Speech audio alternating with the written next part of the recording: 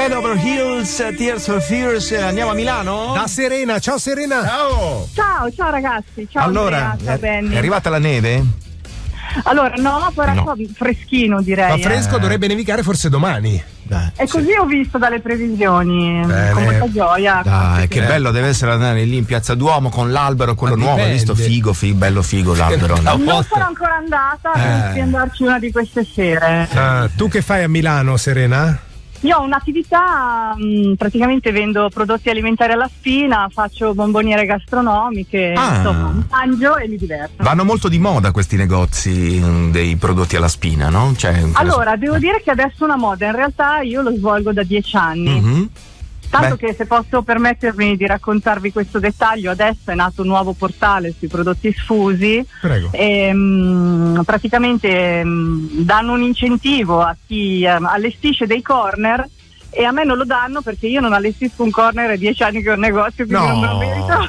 No, C'è solo io un corner, lei che c'è tutto il negozio non gli danno questo Però si ritorna a fare la spesa come la si faceva prima dei supermercati, no? quando si andava, dice vai a comprare un chilo di pasta e te la Bravo, mette là, bravo. te la Esatto, incartavano esatto. oppure Pasta, riso, il, il sapone. Il no? sapone, Esatto. certo. Bene, Nel bene. mio caso oli, aceti anche, quindi. Cos'è- qual è il prodotto più acquistato? E allora l'olio e la parte alcolica, devo dire. È il vino, vedi? Senti, Il vino ma eh, anche, hai sì. parlato di bomboniere gastronomiche? Esatto. Cosa intendi? Cosa intendi per me? Eh, intendo che praticamente le persone possono scegliere e assaggiare qua tutto quello che vogliono, come vi dicevo, gli oli, gli aceti di frutta, la parte alcolica, Ah, ok. confiture, mieli, sali. Poi se piacciono, zuccheri. uno, capito? Te- Io posso, posso regalarti una bomboniera gastronomica, se Sì. ti piace, e poi torni e vai e Bene, bene. Bravo, bravissimi, bravi, Possiamo bravi. venire a lavorare da te allora. Dai. Caspita, ci mancherebbe. Dai, come si chiama il tuo negozio? Colori e sapori. Colori e sapori. A Milano, colori e sapori a Milano. Grazie ragazzi.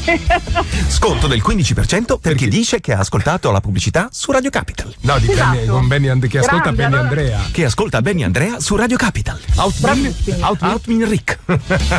allora Serena, partiamo, anzi parliamo di cose più serie perché Certo. parlavamo di Mozart, di questa esecuzione del pezzo, la commissione si convinse del fatto che era davvero un bambino Mozart e quando durante l'esecuzione di un pezzo che successe? Che E successe? fu distratto dal passaggio di un gattino. e Da un quindi- gattino e quindi questo fu la prova. Allora lui era talmente bravo che uno dice non può essere che questo sia un bambino, cioè Eh, sì, eh, sì. deve essere un È adulto. Beh, a Invece- 5 anni già eh, praticamente eh, sapeva fare Faceva tutto, a 8 concerti, anni eh, scrisse certo. la prima sinfonia, Eh, è era un- incredibile. Cosa Beh, che abbiamo fatto tutti a otto anni. a otto anni, ma certo. Era davvero un genio.